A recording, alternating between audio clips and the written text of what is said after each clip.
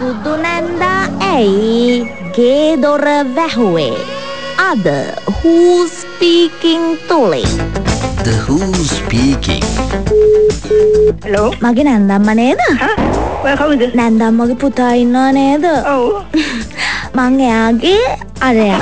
කවුදගේ නම ආමං සුරේකා. ඔයා කතා කරන ළමයාගේ නම මොකද පිරිමි ළමයාගේ නම කියන්නේ ඔයාගේ පුතා. ඉතින් මට තුන් දෙනෙක් කියනවා මම දන්නවද ඔයා කවුරු ගැනද කතා කරන්නේ කියලා මට තුන් දෙනෙක් ඉන්නවා පුතාලා ඔය කියන්නම් අරයා ගැන. නෑ නෑ ඔයා කවුරු නම කියන්නකෝ අනේ පිරිමි ළමයාගේ හරි හරි නැන්දම්මගේ පුතාලා තුන්දෙනාගේ නම් කියන්නකෝ. මං කියන්නම් මං කාගෙද කියලා.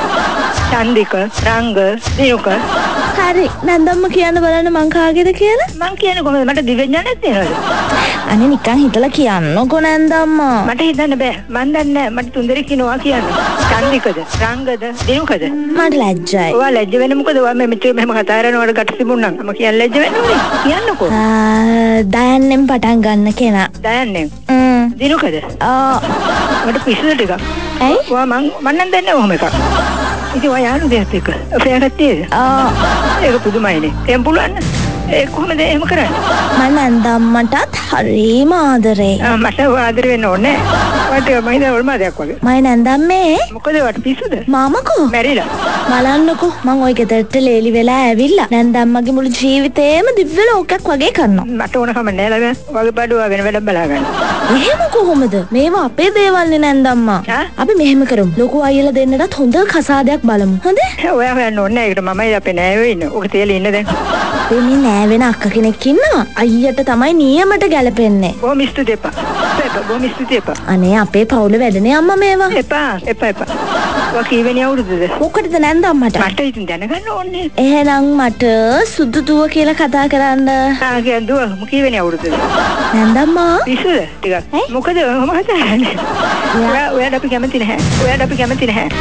අනේ ඔයා ගිහින් ඔළුව බලව ගන්න. ඔලුව උකුණ නැහැ. උකුණ නෙමෙයි මොලේ මොලේ බලව ගන්න. නැන්දම්මා? මොකද? ඔයාට ඔල්මාද වගේ මට පේන්නේ. අනේ බලන්න නැන්දම්මගේ සුදු ලේලිට කියන කතා. ලේලි කියන්නේ ඔයා? මං අම්මගේ ලේලි වෙනවම තමයි. එහෙම හම්බ වෙන්නේ ඔයාට. මම ඉඳදී එහෙම හම්බ වෙන්නේ නැහැ ඔයාට. ඒ කියන්නේ නැන්දම්ම අපේ මෙව්වෙකුට විරුද්ධ වෙනවා? ඔව්. විරුද්ධ වෙනවා? ඔව්. සියදිවි නසා ගන්නවා. පිස්සුද ඔයාට? අම්මා විරුද්ධ වෙනවා.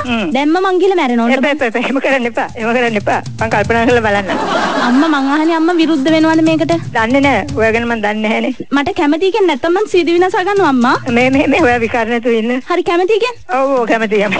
ඔන්න අම්මා කැමති කිව්වා. නෑ නෑ මම කැමති නෑ අනේ අම්මා මම මැරෙනවා එහෙනම්. එපා එපා මේ ළමයාට මොකද වෙලා තියෙන්නේ මේ මේ විකාර නැතුව ඉන්න අනේ මට බෑ නැන්දම්ම මට යාව ඕනේ. බෑ වෙනත බලා ගන්න දරුවෝ මම මගේ සුදු නැන්දම්මගේ සුදු ලේලිනේ.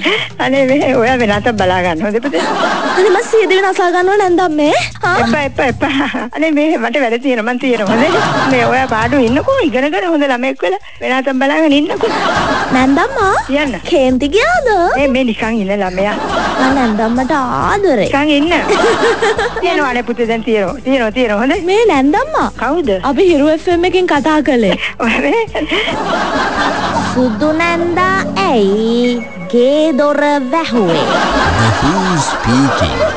මම ප්‍රාර්ථනා කරන්නේ කවදා හරි දවසක මටත් ඒ වගේම නැන්දම්ම කෙනෙක් හම්බ වෙන්න කියලා. හරි අද දවසේ ජයෝදා ඉන්නවා ලොතරැයි අපිත් එක්ක